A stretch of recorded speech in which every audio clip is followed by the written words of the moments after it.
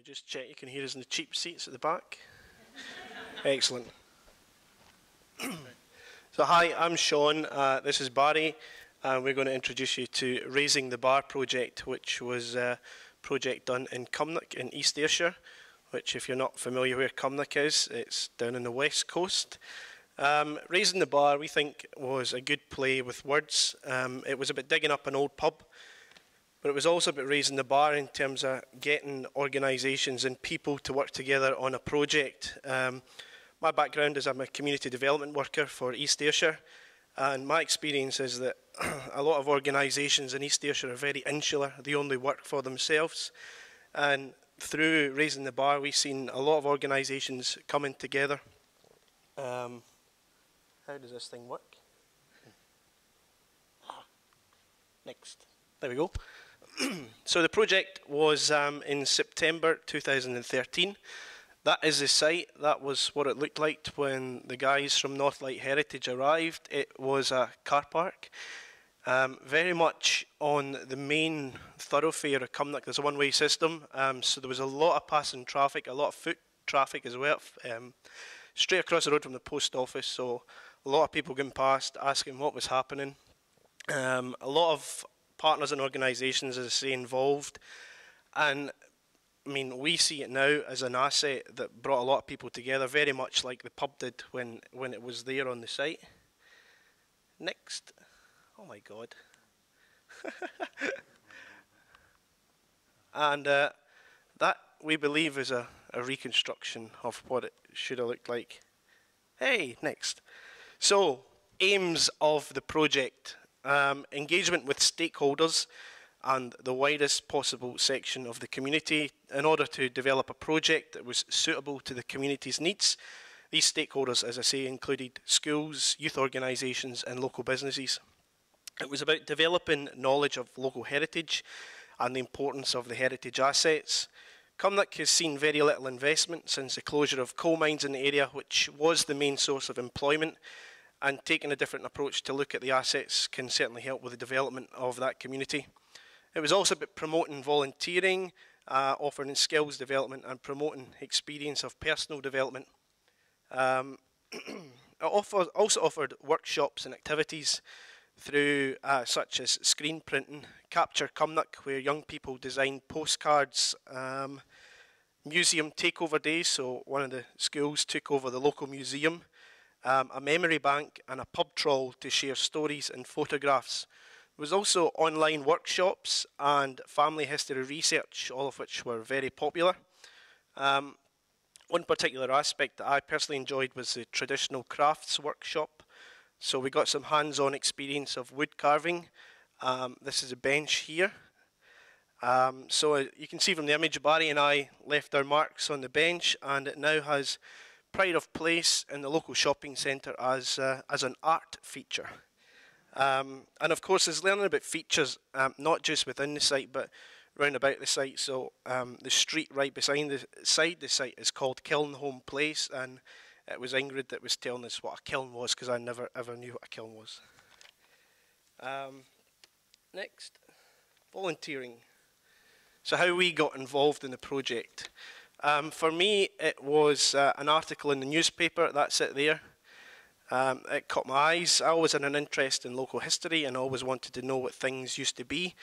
My idol at one point was Tony Robinson. So I dropped an email through the website. Um, Ingrid got in touch from Northlight um, and said, yeah, we'd love to have you. So I suddenly became the one that was referred to as a stalwart. I was there every day. Um, also, as part of my studies of community development, I've seen it as a great opportunity to get hands-on experience um, of engagement and how to engage with the wider community. Um, so it was pretty much right up our street. So it was definitely thanks to Ingrid and Katie, Charlotte and Peta at um, Northlight. Barrie? Um, now I have to say that I... Oh, is that working? Oh, yeah. Fantastic. Okay, now I have to say that I originally approached the project with a certain level of ambivalence because um, I do not come from Cumnock. Um, I live in Ochiltree, which is a nearby village. It's a smaller village. And I know that people um, in some of those surrounding villages, surrounding Cumnock, uh, resented the fact that so much public money uh, was being spent on projects like this in Cumnock, while vital services in their own villages were being cut and their own community facilities um, were under threat. Um, we have to see the project in the wider context. Um, a great deal of money had been spent um, trying to regenerate um, Cumnock through the preservation and restoration of its built environment. Um, so money had already been spent on the restoration of the town hall, uh, the old church at the main square, and also um, the Royal Hotel. But I was encouraged to participate by a lovely woman called Maureen Murphy um, at East Ayrshire Volunteers. And from a personal point of view, it was uh, right up my street, if you pardon the pun. I was unemployed at the time, but I had studied Scottish history at university. Um, and I was, like Shaun, I was also intrigued by the title, Raising the Bar, as well as being a clever play in words. It also suggested to me um, the idea of a new start, both myself personally and also for the community. So I put aside my doubts and signed up. I also had to put aside my natural contempt for his uh, archaeologists, which all historians share. So, um, who else got involved in the project? Well, it was an unusual demographic of volunteers. They were mainly of uh, working age, unemployed, um, not from the town like Barrie, but from out outlying communities. There was also a lot of volunteers from public sector, such as uh, local council and uh, job centre plus, and of course the young people, uh, myself and Barrie included in that category, and uh, local school children. And uh, there's some of our lovely volunteers there.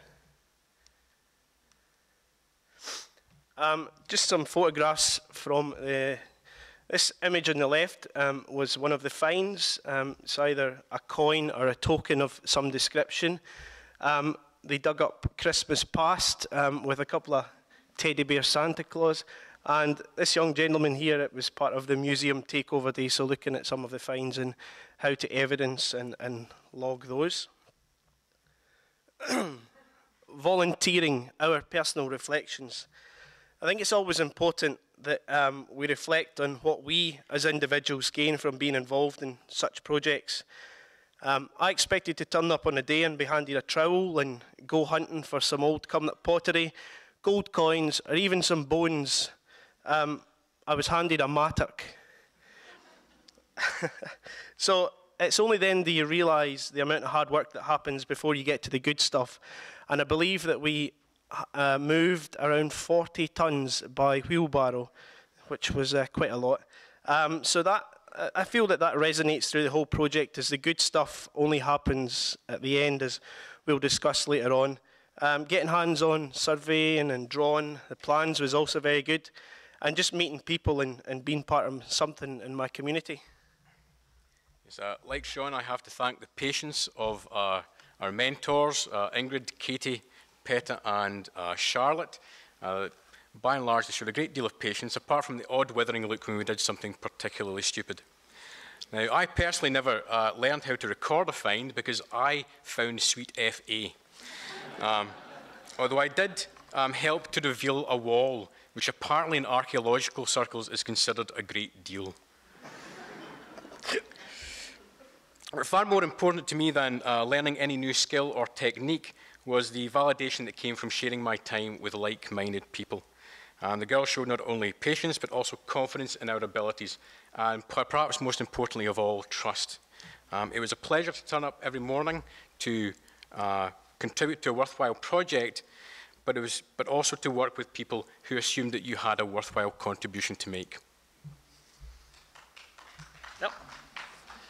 Um, this is just about the wider engagement of the community. Um, one, one very important aspect was um, we actually had the site opened up, so it was just it was Harris fence, and as you've seen from the image at the very the very start, so it wasn't totally blocked off. The council did want big, huge sheets of solid wood with tiny windows for people to look in, but we felt that um, really opening the site up, and as the people were going past, they were stopping, they were sharing their stories. Um, on many an occasion, people would bring photographs of the old pub and um, for us to look at.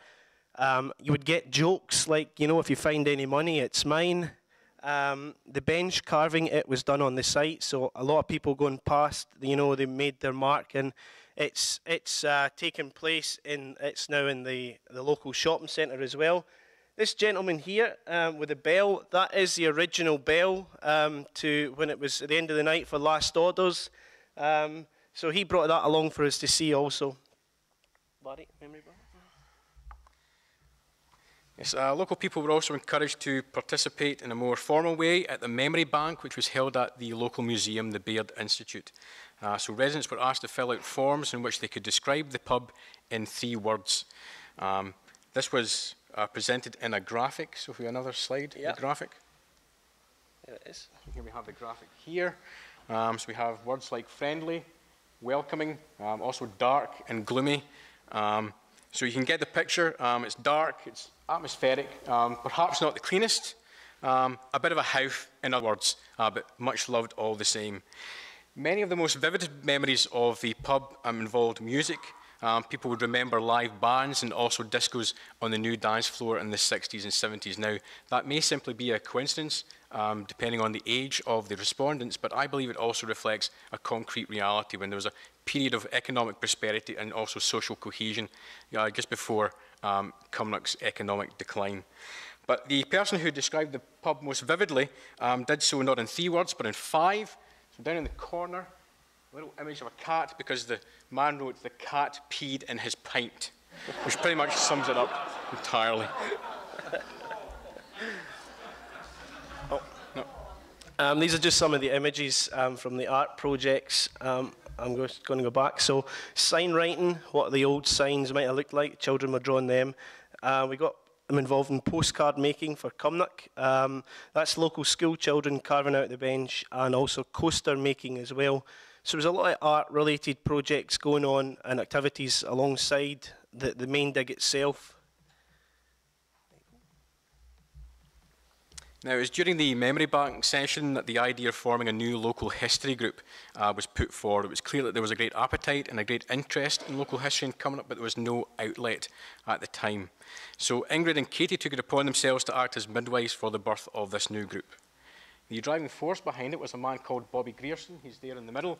Um, he had grew up in Cumnock, he had returned, and so he had the passion of the type of man who's tried to reconnecting uh, with his own roots. And a lot of the people who turned up that day at the Memory Bank session are founder members of the group itself.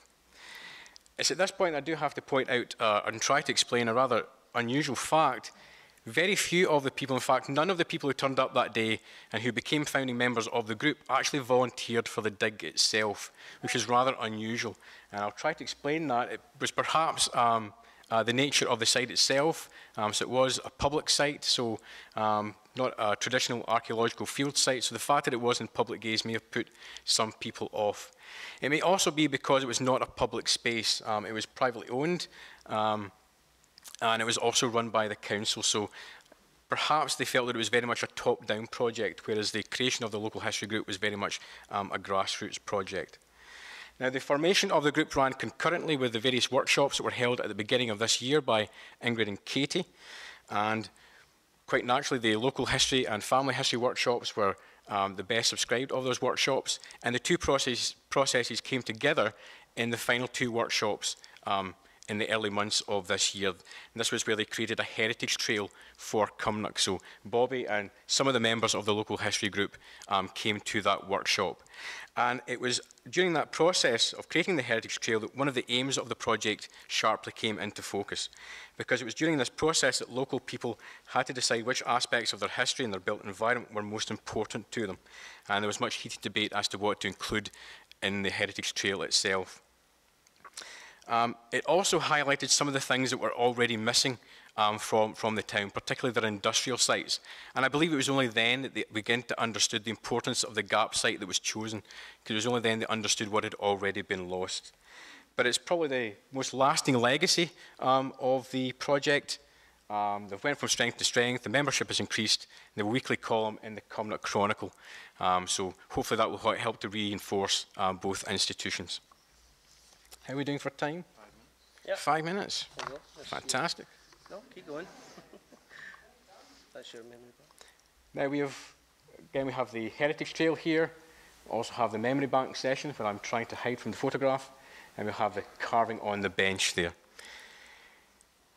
So lots of arts projects. Um, again, we can see the screen printing on the postcards. But uh, towards the end of the dig, Ingrid asked me if I would make my own creative contribution um, creative response to the dig because I am what you would call a down on his luck writer. Ingrid believed that the Gap site with its gentle slope uh, would make a perfect performance venue. And she had hoped that by staging an event on that site, um, the local community could reclaim the space for themselves in a cultural, if perhaps not a legal sense. So she asked me to come up with some ideas. Now, originality is not my strong point. Um, so I joked that originally that the natural amphitheatre um, of the site and the fact that the subject was Cumnock would make for a perfect Greek tragedy. But as I studied uh, the site in more detail, uh, I began to look uh, to another literary inspiration. That was Dante's Divine Comedy. So you may, you may see um, we have some Elvises here on the site. Yes, Elvis impersonators. That, the only reason they're there is so Ingrid could tweet that Cumnock had more kings in their car park than Leicester.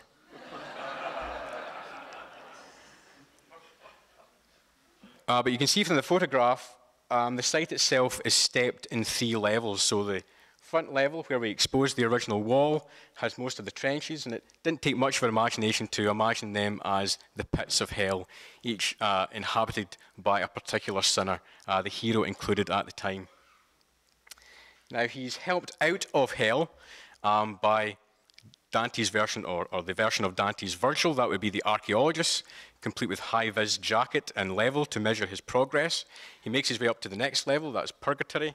Um, that was a small very narrow mezzanine level. We believe that's where the toilets were um, in the original site. Um, so there he meets people who represent the seven deadly sins, all local characters.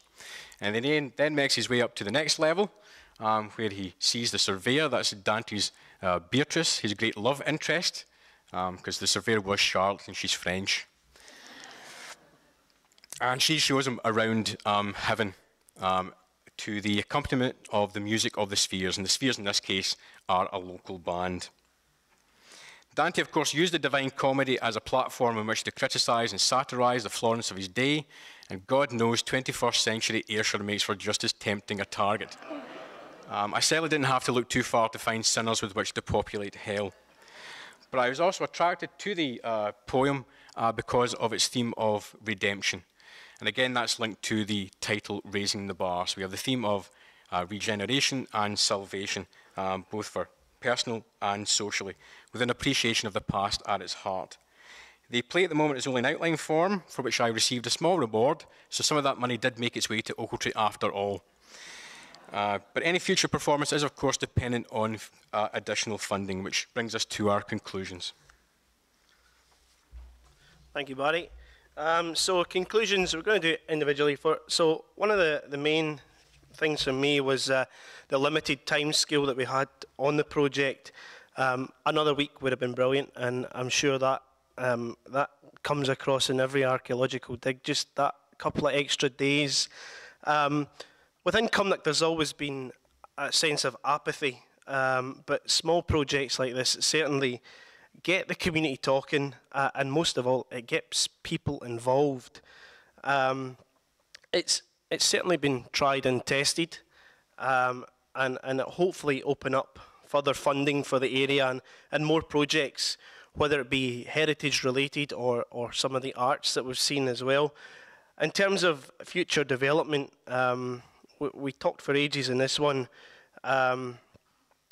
Development of uh, the first heritage trail, um, increased interest in the heritage and history through the history group, through the schools, and, and of course uh, a weekly press release on the history and heritage of Cumnock, which is really a fascinating read. I look forward to getting the local paper every week to see old photographs and old stories. And I think the final thing for me is it's sad that the site has actually returned to the way it was when we arrived. It's been backfilled and and people park their cars there.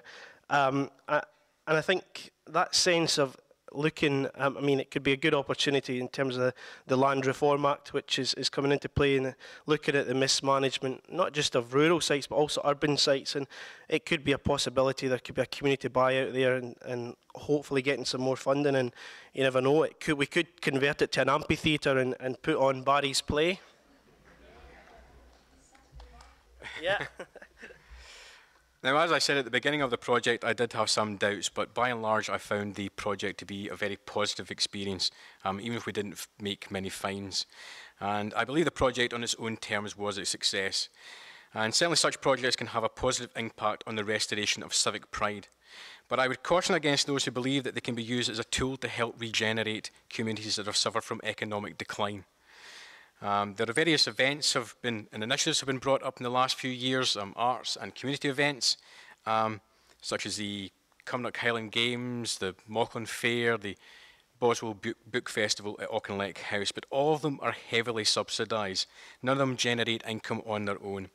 And some of those events, such as the Cumnock Highland Games and Mauchline Holy Fair, have been warned that their subsidy may be withdrawn and are now under threat all of which suggests that any future regeneration of the area must be built, built upon sounder economic foundations. And the very act of archaeology itself reinforces this lesson, because when we dig in the dirt, and notice I said we, um, we look for tangible material evidence of economic prosperity. No archaeologist, as far as I know, has ever dug up wishful thinking. All of which may make me a hypocrite, because soon after the dig, I got a job as a tour guide at the nearby Dumfries House. Yay. And Shaun is well on his way to getting his degree in community development. So, like Dante, we may no longer be in hell, but we have not quite attained paradise. Which must mean that this is purgatory. and no doubt some of you are sitting there thinking exactly the same thing. But don't worry, that has brought us to the end of our presentation. So thank you very much.